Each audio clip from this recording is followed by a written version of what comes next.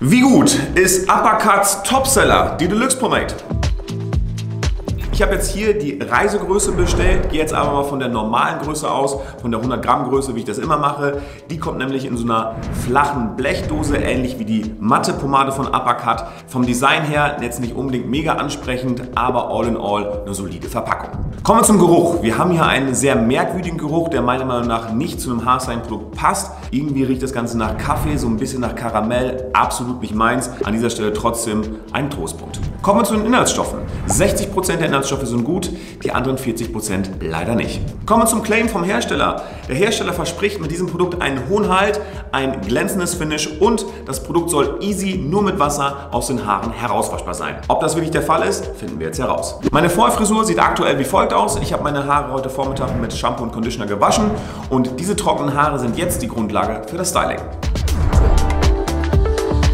Weiter geht's mit der Konsistenz des Produktes. Wir haben hier eine etwas dickere Pomade. Wenn man die aus dem Tiegel herausholt, dann merkt man und sieht man wahrscheinlich auch, was ich meine. Die ist aber dennoch relativ weich. Deshalb funktioniert das Auftragen in die Hände auch easy, geht locker, einfach von der Hand. Und wenn man das Produkt etwas in den Händen verteilt und auch in den Händen verreibt, dann verschwindet das Produkt rückstandslos, genauso wie es sein sollte. Kommen wir zum Styling. Ich habe das Produkt logischerweise dann vollständig in meine Haare eingearbeitet und um das Ganze ein bisschen zu vereinfachen, habe ich dann einen groben Kamm dazu genommen damit ich dann meine Haare A ein wenig ordne und B natürlich auch das Produkt überall in meine Haare verteile. Ich hatte dann das Gefühl, dass ich nicht genug Produkt in meine Haare hatte, habe dann noch ein bisschen nachgelegt, heißt habe so ein bisschen geschichtet mit dem Produkt, später dann noch einen Feinkamm dazu genommen, um meine Feinheiten und meine Seiten etwas zu ordnen und war dann sehr schnell da, wo ich sein wollte. Und die Nachherfrisur sah dann wie folgt aus.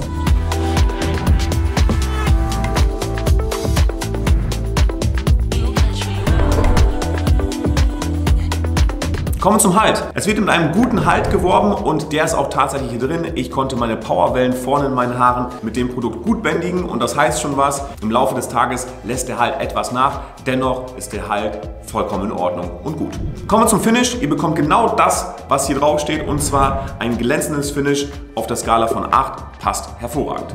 Wie sieht es mit der Auswaschbarkeit und dem Preis des Produktes aus? Bei der Auswaschbarkeit muss ich sagen, diese wasserpositive Pomade lässt sich gut auch nur mit Wasser aus den Haaren herauswaschen. Das kann ich an dieser Stelle bestätigen. Und zum Preis. Ich gehe hier beim Preis jetzt auch wieder von dem 100 Gramm Produkt aus, so wie ich das immer mache. 100 Gramm von der Deluxe Pomade von Uppercut kosten aktuell 21 Euro. Und für dieses Produkt finde ich das ein faires Preis-Leistungs-Verhältnnis. Für wen ist das Produkt geeignet und kann ich das Produkt weiterempfehlen? Grundsätzlich kann man das Produkt Leuten empfehlen, die kurze bis mittellange Haare haben und die einfach diesen Sleek Back Dandy Look kreieren wollen, ohne nochmal ein zweites oder drittes Haarstyling-Produkt zu verwenden. Die einfach nur ein Produkt haben möchten und damit diesen Look kreieren möchten. Und für die der Geruch tatsächlich auch absolute Nebensache ist. Aber genau für die Leute ist dieses Produkt auf jeden Fall eine Option. Totale Punktzahl. Die Deluxe Pomade von Uppercut bekommt 37,5 von möglichen 50 Punkten. Den Link zum Produkt findet ihr wie immer unten in der Infobox und jetzt wünsche ich euch ganz viel Spaß beim Haarstylen.